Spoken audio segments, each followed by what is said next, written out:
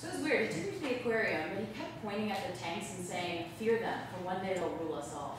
it was really weird. It was weird. I don't know. He was fun. Hey guys, cool lunch break. What the fuck?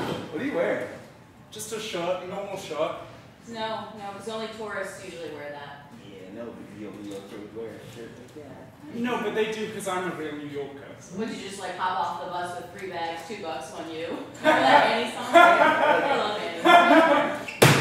No.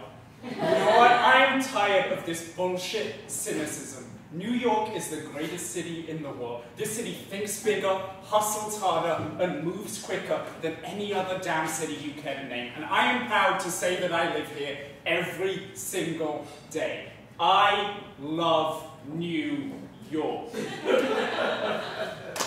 Okay. Sorry.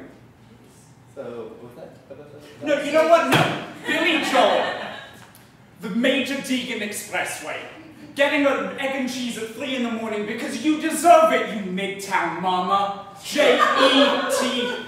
Let's go Jets, you know. You don't know. Fordham University. Studying. Street basketball at Rucker Park. Shooting.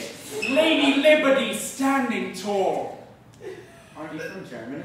Frances Ha, Columbus Days and Broadway Nights. Doing karaoke with a stranger you haven't met yet, but who might just be your friend for life. Turn around, bright eyes. The energy that could power a million dreamers. The freaking strokes. Room on fire?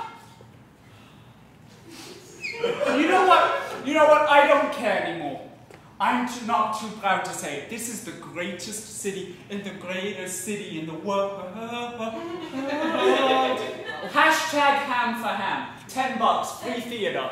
New York is America. It's diversity. It's the melting pot. It's the living tapestry. It is the chaotic soul we wish to see forever in our hearts.